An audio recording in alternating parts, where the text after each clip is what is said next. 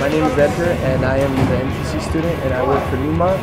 I'm in the diesel program, and today I'm doing a starter test. Basically, we test the uh, starter to see if it's working properly.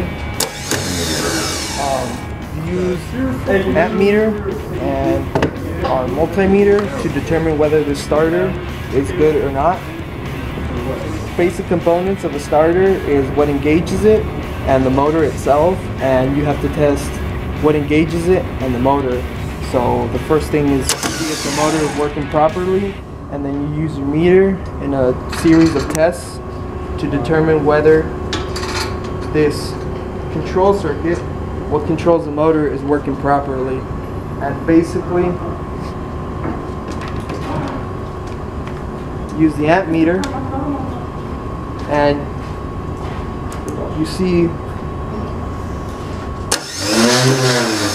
many amps are drawing across that circuit.